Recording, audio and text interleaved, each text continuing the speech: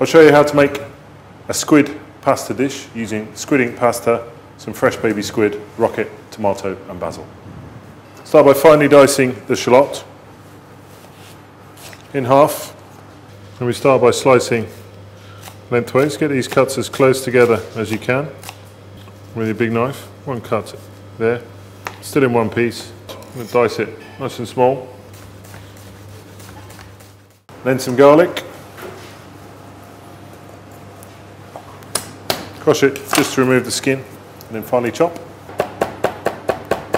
Chop it till it's nice and small. And chop the cherry tomatoes in half. Lovely on the vine cherry tomatoes. Just pick them off the stalk in half through the middle. Chop the basil, so just pick the leaves off. Chop through the basil. Nice sharp knife. Nice slice rather than a chop.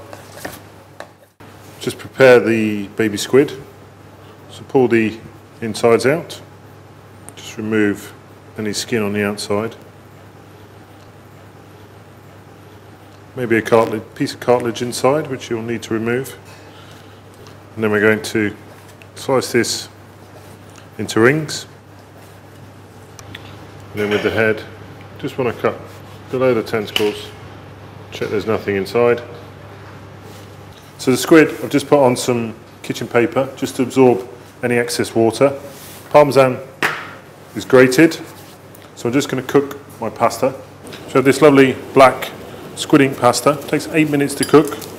This is uh, spaghetti. Salted water, rapidly boiling. So a few minutes before your pasta finishes cooking, start cooking your squid.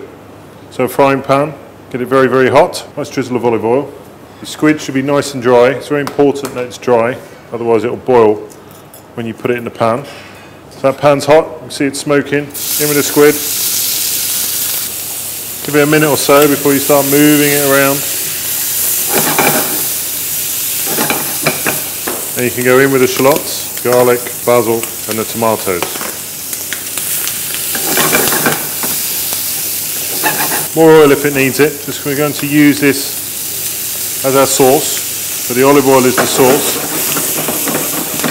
Squeeze the lemon juice. So off the heat. And that's ready to serve. So pasta in a bowl. Season with salt. Drizzle of olive oil. We're going to add half of the squid to the pasta. Just mix that round. And then onto the plate. And spoon on all those lovely cooking juices and the rest of the squid. Finish with a few rocket leaves. Sprinkle parmesan. So there we have squid ink pasta with sauteed baby squid, rocket, basil and cherry tomatoes.